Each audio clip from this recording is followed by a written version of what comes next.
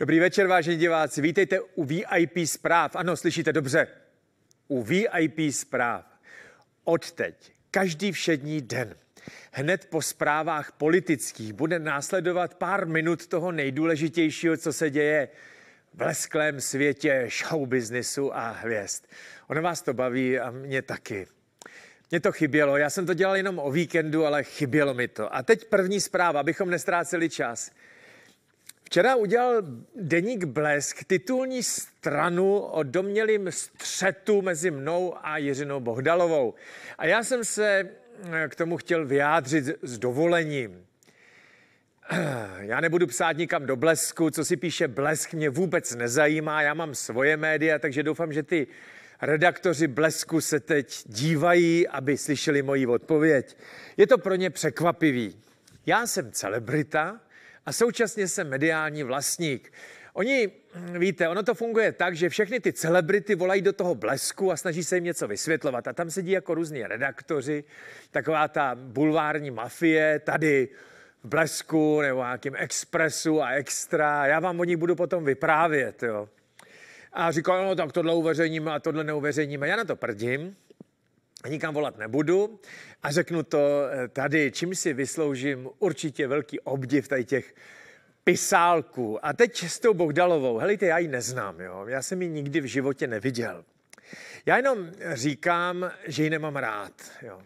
Víte, proč ji nemám rád? Ne proto, že by vymetala večírky. Ono, jako v 90 letech Jiřina Bohdalová chodí z večírku na večírku, na večírek a my ji jako obdivujeme za to, že v 92 letech je schopná vymetat večírky.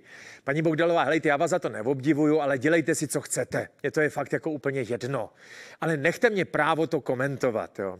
Stejně jako vaši zpříznění ty redaktoři Blesku komentují mě, tak nechte mě právo vás komentovat, ale to je moje právo, já tady to vlastním, jsou to moje média, takže nechte mě bejt, jo. Já, já mám právo to komentovat a žádný blesk ani vy mě nebude řík, nebudete říkat, co mám nebo nemám říkat.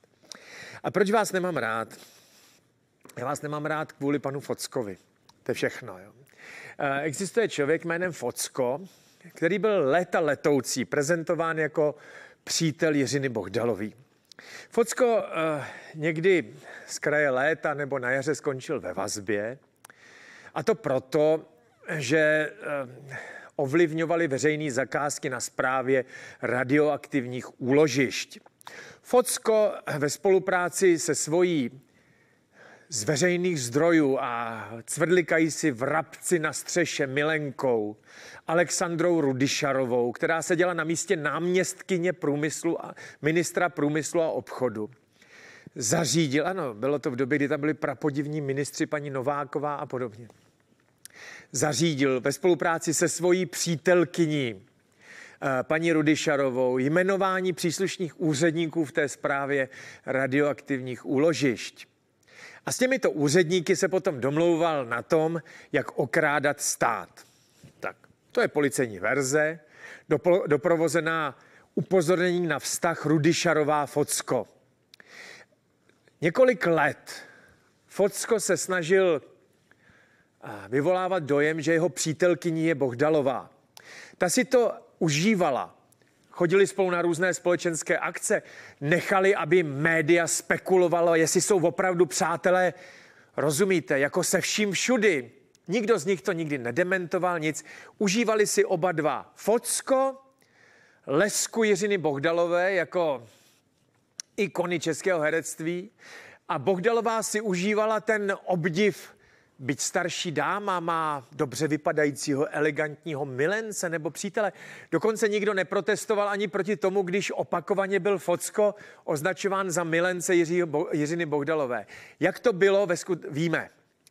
Focko okrádal stát, měl svoji přítelkyni na, míst, na, mí, na místě ministrině, náměstka nebo náměstkyně ministrině a ministra průmyslu a obchodu, manipuloval veřejné zakázky a skončil ve vazbě. A Bogdalová si užívala lesku, lesku Focka i jeho peněz a společenského postavení v nejvyšších patrech politiky. Bohdalová tam měla vždycky blízko a politici se předháněli k tomu, eh, o to, kdo bude blíže Jiřině Bohdalové, koho Jiřina Bohdalová eh, podpoří ve volbách, či nikoliv. Pamatujete si na ty bizarní, bizarní obrázky z letošního roku, kdy Miloš Zeman věnoval jedno z dalších vyznamenání Jiřině Bohdalové a tam se tam objímali a podobně. Takhle to chodilo a Focko moc dobře věděl, že nejen jeho milenka Rudyšarová, ale i Jiřina Bohdalová mu otevřou dveře k politikům. A od Jiřiny Bohdalový říkat, že nic takového netušila, že je to hodný pán a nevěděla si, čím se živí, je minimálně divný a za to ji nemám rád. Jo.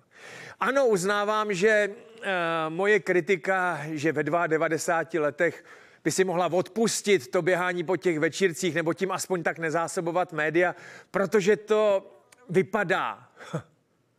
A vede mě to k podezření, že za to dostává zaplaceno, tak to jsem si mohl odpustit, ale na zbytku toho si fakt trvám.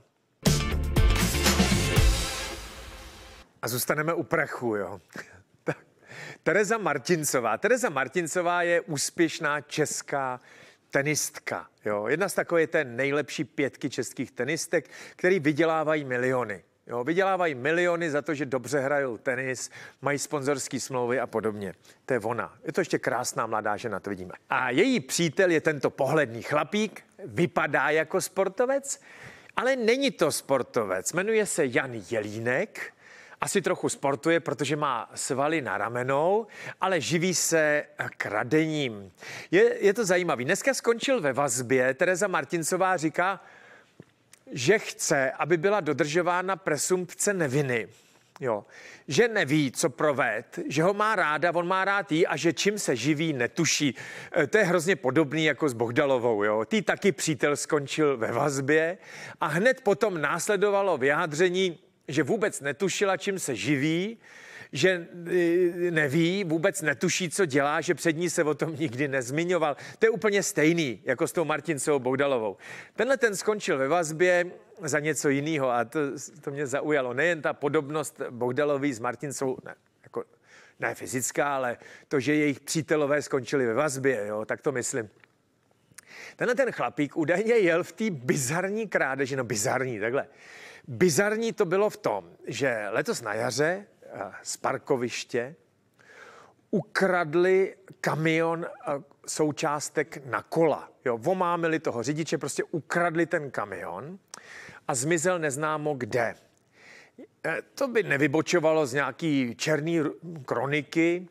Vyjma toho, že ty součástky na kola, ty různé přehazovačky a tak, měly hodnotu 250 milionů korun. Jo. A prý to byl organizovaný gang, který si vystopoval ten kamion, který jel z přístavu v Hamburku do České republiky a, a ve vhodných okamžik, kdy ten řidič měl nařízenou tu přestávku, ho nějak uspali a ten kamion ukradli. Jo. A mělo to hodnotu 250 milionů. A Tehdy média říkali ano a bude nedostatek kol, protože součástky na kola, ty přehazovačky a tak, jsou silně nedostatkový zboží, zvlášť, zvlášť době covidu. A to, že celý jeden náklad, kamion zmizel, bude znamenat, že nejméně rok se sem další kamion nedostane, protože po celém světě je o tom obrovská poptávka. Jo. Já jsem říkal, no ty jo, normálně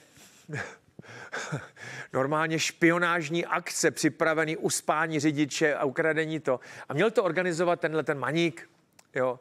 Dneska ho vzali do, do, do vazby a se svýma kámošema to vykoumali a ten kamion ukradli. Jasně holky, myslím Martincová, Bohdalová. Nevíte, co ty kluci dělají, lumpové jsou to, ale máte se s nima dobře.